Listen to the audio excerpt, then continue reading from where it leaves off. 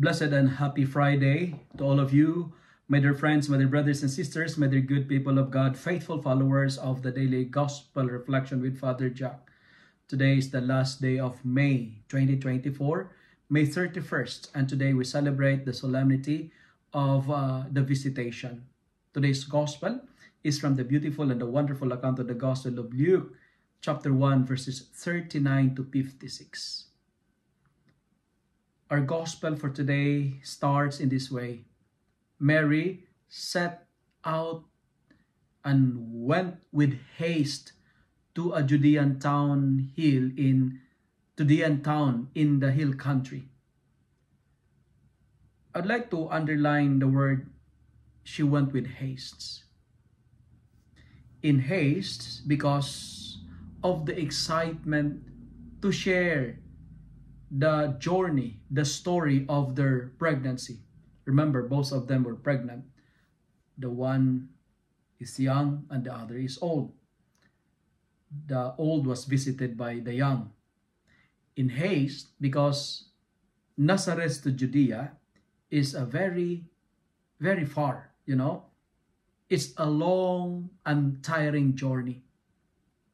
I've been to Nazareth, I've been to Judea, but that time we only rode a, a bus. But during that time, Mary had to walk.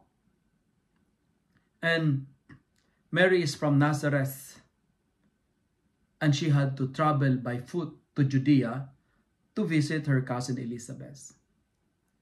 She traveled to bring the great blessing in her womb, and that is the Messiah, Jesus biblical experts says Nazareth to Judea will take you to two to three days of walk before.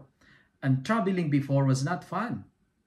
And there was a tradition that travelers had to carry their gods, to carry their goddesses with them for protection. Their belief to their gods and goddesses will protect them from dangers, from threats, and from unforeseen harm along the way. But you know what?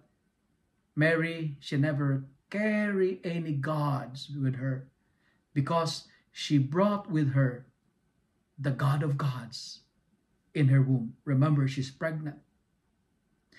She never carried any gods because she carried with her the God of gods.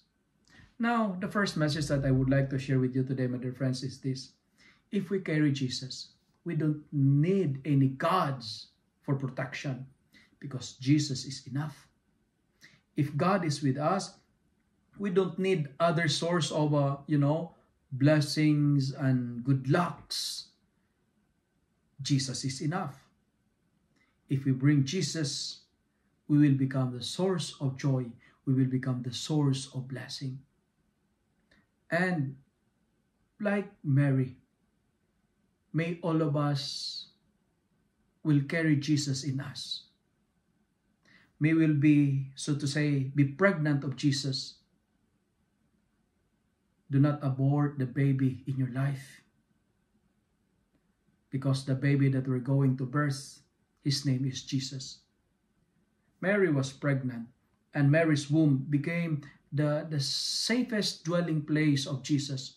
Her womb is the new Ark of the Covenant. But the friends, bring Jesus with you wherever you go so that you will be the source of blessing and a source of joy.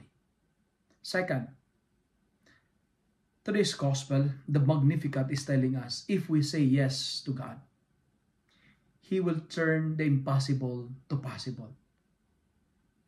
We have a God who can make our burdens, He can transform our burdens into blessings. He can transform our trials into experience of triumph.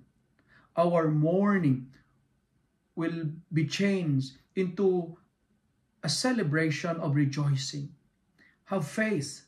Believe like Mary and Elizabeth that God's promise is from generation to generation. Believe that God's promise will be fulfilled also in you, but you need to trust the process because nothing is impossible with God. And finally, the Magnificat is a song. And it's the record of God's mighty deeds done to the life of Mary.